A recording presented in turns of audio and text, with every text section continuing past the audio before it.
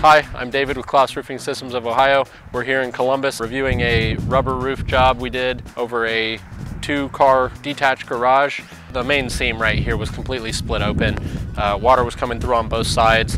All the decking underneath, everything was, was wet. Can't park cars in there just because of how wet it is. The, the wood was sagging, so we went, rebuilt the deck, put all new sheathing all the way around, uh, CDX half inch plywood.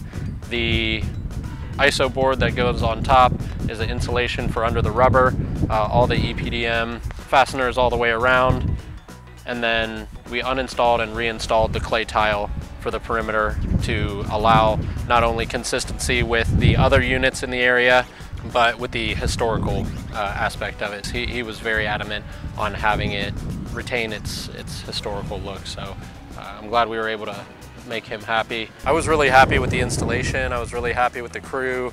Everything turned out perfect. The weather was perfect. It really, it really came along quickly and nicely.